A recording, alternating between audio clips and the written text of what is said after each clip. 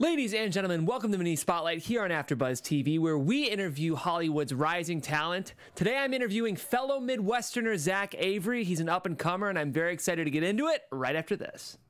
You're tuned in to AfterBuzz TV, the ESPN of TV talk. Now, let the buzz. Ladies and gentlemen, welcome to Mini Spotlight on here on AfterBuzz TV. As I mentioned at the top, this is the show where we interview Hollywood's hottest up-and-coming talent. And today I'm very excited to be interviewing Zach Avery. Zach, hello. Hello, how are you? I'm great. It's good to have you here in studio. Guys, my name is Jeff Graham. You've seen me on some other AfterBuzz shows here, but I don't do this series as often as I'd like. So I'm very excited to be here chatting with you today, Zach. As I mentioned at the top, we're fellow Midwesterners. Yes, definitely. From the land of the corn. Yeah, exactly. How do you feel like the uh, LA experience has been for you versus the Midwestern experience overall? Look, it's it's totally different, you know, Mm-hmm. as you know, and I think there's positive and negative both. But you know, for me, being here, being kind of having that creative juice and wanting to get it out, it's it's the place to be over over good old Indiana. You have to be. I feel like, especially for TV film, there's just really nowhere else to be. It's true, you know, it's either here in New York, but still, New York's a whole different vibe. You know, you get the Broadway stuff and Mm-hmm. things like that, but here's you got to be here to do it. Well, you did do some live theater in your pre TV film career, which I was reading about. Yeah. Interestingly, Zach actually had a kind of burgeoning career in football, um, which was derailed It was. um, for the better, you could argue now Yeah. for this uh, career. But I don't feel like that Venn diagram usually overlaps of like the alpha culture of football Totally. with the not always stereotypically alpha culture of performing. Yeah. What was that experience like for you? So for me, it, w- it was definitely like a split brain situation where I had always grown up with sports, I had always played sports, and I always had the passion to kind of perform and, and be in the arts and put on plays and that type of thing. Mm-hmm. So I had to kind of find my footing in both sides. You know, the stereotypical jock situation, like you said, isn't really conducive to then doing Shakespeare, or whatever mm-hmm. these types of plays. But what I did is I kind of took that alternative route and said, look, I love playing sports. It gets that kind of, you know, competitive energy out. But I also love this artistic side and I'm to do both. And once people kind of realize that you just have to own it and you're to do your thing, then they start, you know, appreciating you for that and you you go for it. So, did you know I want to move to LA specifically, or do you feel like you were acting and performing in theater and then eventually you caught the bug? I think for me, it was always in the back of my head. You know, I, mm-hmm. I always knew that, you know, LA was kind of like the dream that eventually I'm going to go out there once I kind of get X, Y, or Z done. When at the time, I didn't even know what X, Y, or Z was. It just felt like I'm not ready and no one around me is telling me that you should go out there. So I need to do some stuff before that. But once I started doing, you know, some of the theater things and getting that kind of that angst out, it was clear. It was like I have to go and I have to do it, and we did. Well, we were talking before we went live about your journey in LA. Every actor's journey is different, everyone is unique, but I'd say yours has been kind of the standard grinding, booking what you can until eventually we'll get to it, but you're Yeah. booking a lot more.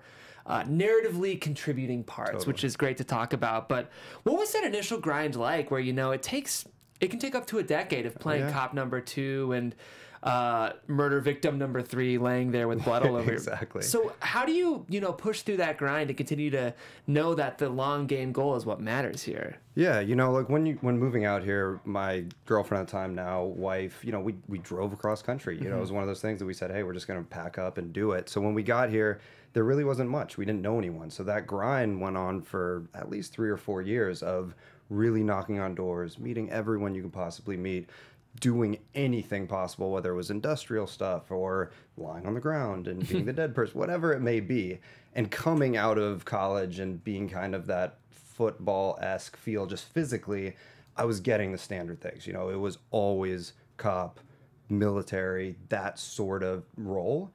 And so, you know, it, it took a lot of kind of saying, okay, I'm here. I'm getting something. At least I'm getting, you know, experience on set, which is huge. Now, mm-hmm. looking back in hindsight, all those little roles helped now that I'm actually doing things that I want to do because you just learn the mechanics and the and the kind of hierarchy of how a set is Yeah. run and works and you need to know that stuff.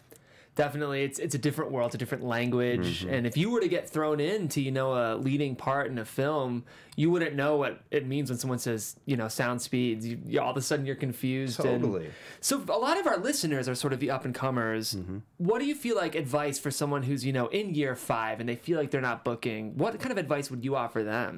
I would say, at least from my uh, personal perspective, that, you know, for me, it helped a lot making personal connections outside of the actual auditions that you're going in. So, whether you're at a party or you're at some friends get together, whatever it may be, there's people in the industry that you may not even know are casting directors or producers or directors that if they get to know you as a person and they know, yeah, you're an actor, but you're not just trying to climb the ladder, they may think of you for other things. So, I would say, look, you're gonna knock on a thousand doors you're gonna go to a thousand auditions and you might hear no all the time but you never know that connection you may mm. make in there that's gonna lead to something down the road It's a great point because the truth is everyone in LA is talented, right? sure. So if I'm a director and I have two very talented people, but I like one of them more as a person, Exactly. I'm definitely going to pick that person sure. because at the end of the day, after you call cut, you're still working with that person. Exactly. So and that's the biggest piece is that when you get on these movie sets or tv sets you're really this kind of tight-knit family for weeks if not months Mm. at a time so you have to want to be around these people and so you have to think of them yes they're talented and they bring x y or z to the table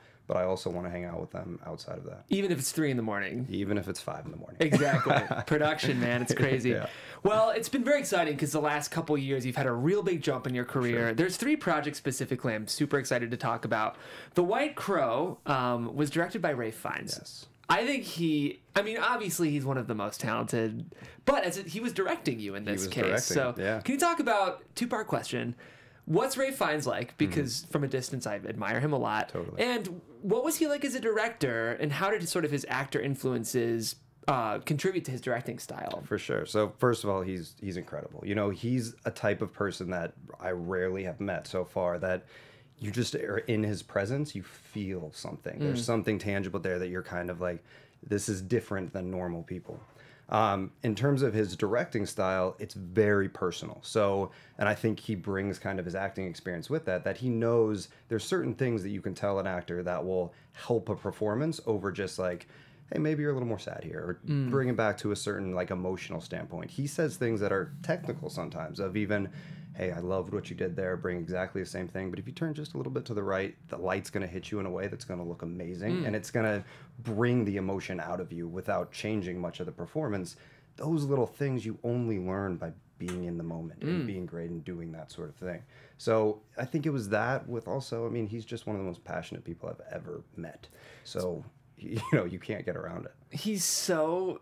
His characters tend to be so villainous. I mean, Yeah. he's played two of the most iconic villains in film Totally. history. Totally. Is he a nice guy? He he really is. Like that's the weird thing is that you kind of have all this built up angst and built up preconceived notions about what he's going to be like, what's it going to be, you know. And I'm I'm shooting in Serbia, so we're going out to Belgrade, Serbia. I show up the first day that I'm supposed to be there. Walk on set. He's in the back of this auditorium, and he's Zach. Oh, that's awesome. And again, it's like I'm not the star of this film. Right. I'm, I'm a guy coming in doing my part, but he makes it personal. He's really he's there, and he, you feel like he's there for you, and he wants the best out of you. I love that. So no, it was really cool. Well, let's talk about Last Moment of Clarity. Very, very exciting film, particularly working with Samira Weaving. Um, she's had a couple big announcements coming up. Totally. Yeah, no, she's incredible. It was it was one of those things that I had done White Crow and then I did a film called Farming and it was one of the same producers that was doing Last Moment of Clarity and he's like, "Look, I have this role. It's a really cool like layered piece. I think you'd be great for it. Start growing your beard now and go for it." So I started growing this crazy beard, went in and read for James and Colin Krisel who directed it. And it just turned into a really beautiful piece. And Samara was incredible. You know, she pe- played my fiance in the movie basically you see through Sam's eyes, my character, that he witnesses her murder and kind of flees to Paris and he's in this horrible place, watches a movie and it looks exactly like her in this weird way. Wow. And he goes on this journey to figure out is it her, is it not her? If it is, is true love really going to last or is it only in a time and a place? And so by being able to play opposite such an incredible actress as her, it really allowed for so many layers and, and kind of a good experience. It was great. I appreciate you. I said Samira Weaving. I think I combined Samira Wiley and Samara Weaving. I'm sure she gets it all the time, and she just goes by Sam, so Nice. Sam works as well. Well, Sam, I just want you to know if you're watching this, I love you as an actress, and I apologize for the mispronunciation of your name. No. Um, Gateway, Yeah. Olivia Munn. Olivia All Munn. this amazing talent. I'm It sure. really- I mean- do you feel like not only working with talent, do you just feel like it forces you to up your game it does. immediately? It yeah. completely elevates every single thing you're Mm-hmm. doing because you know you can't just kind of phone it in and wa- they'll they'll call you out, and you can tell the difference when you're acting op- opposed opposite a really like masterful actor Mm-hmm. or actress. they are doing their thing, which is incredible no matter what. So if you're just there kind of doing whatever, it's not going to work no, uh, on either side. So it was great. What's the biggest lesson you learned from Olivia Munn? I think Olivia is is about not taking yourself in the role too seriously. So she was playing a very, you know, a, a, very deep character, you know, single mother. My character had been in prison, so she's been dealing a lot with a lot. But in life, there's highs and lows. Even if you're in a horrible situation, sometimes you're laughing. Sometimes you're mm-hmm. finding a situation funny that really on the nose is not necessarily funny. And a lot of times when you come in, the first instinct when you read a hard scene is to say, "Oh, I'm going to go brooding and go dark." And she was like, "Oh, play opposite. You know, see mm. what happens when you play opposite. Maybe it work, maybe it won't, but let's figure out a space in between there that does." And it's those kind of you know you know lessons i guess you would say that i'll take with me forever well i was reading early in your days in chicago you were interested in comedy yeah it seems like lately you've been getting booked for these really brooding roles would you want to play some comedy in the future i think i would do anything you yeah. know it's one of those things that i think the the line between comedy and a dramatic piece or even a horror piece is pretty thin mm. it's just you know, it, it's about one of those situations when in the real life, right? You either cry or you laugh. I think that's kind of the line. And hmm. for me, I'm I'm totally down to do anything. I think I'm not a, a like joke type of comedy, but physical comedy I, I love. I love that. Yeah. Favorite movie you've seen this year or in the last year? I would say, um, I mean, I just saw Rocket Man, so that's like at the at the right in the front of my brain, which. I loved. Um, I weirdly, I'm on this music thing. I love Bohemian Rhapsody. Mm-hmm. Um, I would go with Bohemian Rhapsody. I really, really thought his performance was incredible. He killed it. Yeah. Rami was great. Yeah. Uh, last show you binge watched? Last show I binge watched was probably. Um, oh my god, I'm blanking right now. What, You've been working. So I know. I know. What was the, I mean, Game of Thrones, honestly. Like, of that course. was that, that was counts. probably the the last one. My wife and I don't watch Game of Thrones. Oh man. I think I'm the only person in LA who doesn't watch Game of Thrones. So here's the thing is I ha- I didn't watch the first 5 seasons at all mm-hmm. and everyone you got to watch, you got to watch it and I was shooting something so I had downtime while I was there and my wife and I watched season one through five in like three weeks. Yeah, so. I, we know that's gonna happen, yeah. and we don't want to get sucked into the vortex yet. Yeah, we're gonna find a time that works better in our life when we can get lost in Westeros. Sure. Is that right? Y- yes, it is. Well, there's lots of different ones, but Westeros that's one, of, one of, them. Yes. All right, that shows how much I know about the show. Yeah. Um, you're going to Spain in a week, you said? Uh, in the beginning of July, so about a month. About a month. Yeah. Okay, what's that for, and so what can we expect? It's for it's a film called American Carnage. Uh, director named Diego Hallivis is directing it really cool. Him and his brother are the his brothers. They're mm. Mexican producer directors, and it's I can't talk too much about the storyline, but it's a really cool kind of timely political thriller that. It will be it will be excited. I'm I'm really excited to go out there. Well, at the risk of sounding like I'm generalizing, there seems to be a very powerful streak of talented Mexican filmmakers lately. If you look at the Oscars, Inarritu, mm-hmm uh, Cuarón. Totally. They all three, and of course Del Toro. They just keep handing Oscars back and I forth know. to each other. So it's a good time to be directed by Mexican talents. That's for I sure. Think. That's for sure. It's very exciting. Anything else we can be looking out for in the meantime? Um, I think so. Coming out July 12th actually is a film. It was called Hell's Where the Home Is when it did its kind of premiere circuit last year, mm-hmm. and now it's coming out. Uh, it will be called Trespassers. That's released theatrically on July 12th. And then Last Moment of Clarity will be out later this year. So awesome. We'll That's really exciting. Last thing I always ask my interviewees is if you could tell your 10 years ago self one thing, what would that be?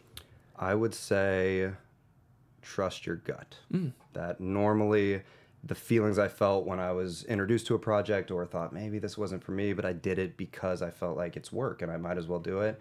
Usually I was correct in Great. either passing or taking it. I love that. Well, Zach, thank you so much. Thank you so much. I wish much. we had more time. I feel like I could chat your ear off for hours. but yeah, next time we'll do it next again. time, next time you're winning your Oscar, please remember AfterBuzz, and we'll bring you in, Zach. there we go, guys. Thank you so much for tuning in to Mini Spotlight. Uh, as I mentioned at the top, my name is Jeff Graham. If you want to catch me doing other things here at the network, I do some after shows.